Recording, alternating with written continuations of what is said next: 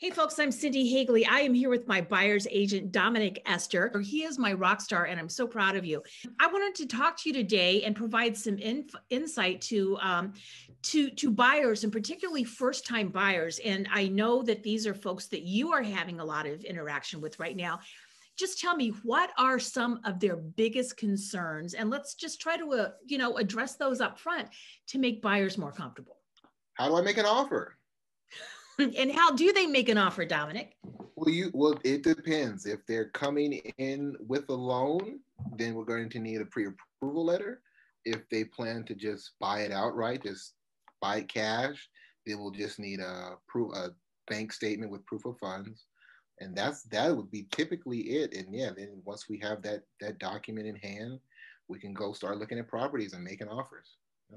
Okay, one quick comment I want to make on that. Today, a pre approval just isn't enough. You actually need desktop underwriting. And uh, in order to get that, they can reach out to either of us. And of course, we'll refer them to JVM, which is our preferred lender. And I also like them because they can close really, really quick. And they're nice guys. Well, they are. Yeah. So, Dominic, why should people use you as their buyer's agent? Because I'm going to make sure that you get the best deal you can possibly get. Mm-hmm. And I'm also going to make sure that whatever we buy is represented in a way, in a fashion where if, once you close escrow, once you're finally in your home, and if anything goes wrong for any reason, um, you'll be covered um, using using someone like myself, who's like I said, is going to go over disclosures, make sure that yeah, you're going to make that everything that you're buying is exactly what they what they told you. So, um, so you're going to make sure that there's no issues. So if a water pipe breaks, you're going to go. You're going to. Go. Oh yeah, I'm, I'm, gonna be there with a hard hat and a wrench, ready to go.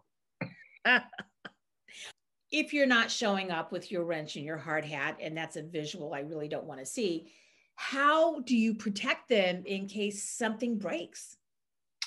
Well, I always tell my buyers, well, I don't even I don't even tell them. I, I give it to them. Um, basically without them even having to ask a home warranty, which will cover any any damage that comes, you know, like I said, the microwave exploding or dishwasher on the fritz or something like that. Or the vomiting cat water feature in the backyard breaks and it's no longer spouting water. Okay, that's good. Okay, home warranties are actually very good because they do cover a lot of times heating and air conditioning. You can get pool coverage or hot tub coverage appliances, uh, things like that. Home warranties are very good, and I think it's great that you include them in your uh, in your package. Um, I know that as a team, we always ask that the seller pay for the home warranty, but if the seller doesn't pay, then we pay, and that's how we stand behind our clients. And I appreciate the fact that that you do that. Why should they choose you as their realtor? When I come in the door with my integrity, I better leave with it or else I'm out of this business because you will not survive in real estate trying to cheat people. This it does not work. You actually listen to things I tell you? oh my God.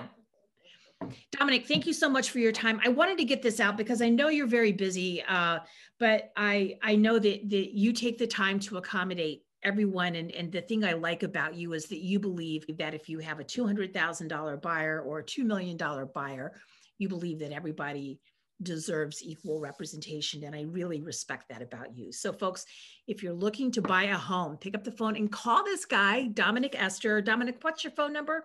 510-875-4119 excellent. He's also single ladies